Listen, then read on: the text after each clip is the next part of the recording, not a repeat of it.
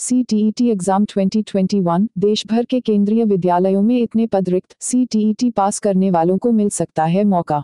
CTET exam 2021 केंद्रीय माध्यमिक शिक्षा बोर्ड द्वारा आयोजित केंद्रीय शिक्षक पात्रता परीक्षा CTET एग्ज़ाम 2021 के लिए आवेदन प्रक्रिया 20 सितंबर 2021 से कन शुरू की जा चुकी है। CTET एग्ज़ाम 2021 के लिए आवेदन करने की अंतिम तिथि 19 अक्टूबर है। इसके अलावा आवेदन शुल्क जमा करने की अंतिम तिथि 20 अक्टूबर है।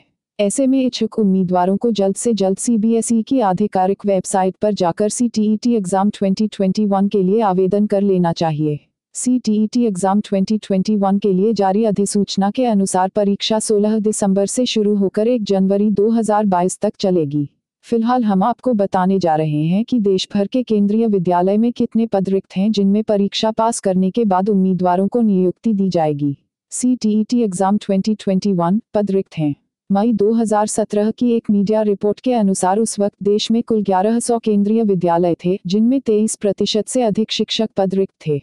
उस वक्त कुल प्रस्तावित शिक्षक पदों की संख्या बयालीस थी, जिनमें बत्तीस टीचर कार्यरत थे। यानी तब नौ हज़ार सात सौ उनचास शिक्षक के पद रिक्त थे।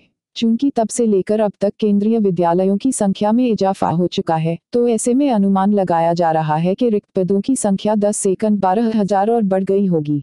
इसलिए सी एग्ज़ाम 2021 में सफल होने वाले उम्मीदवारों को केंद्रीय विद्यालयों में शिक्षक के इन रिक्त पदों पर नौकरी का मौका मिल सकता है।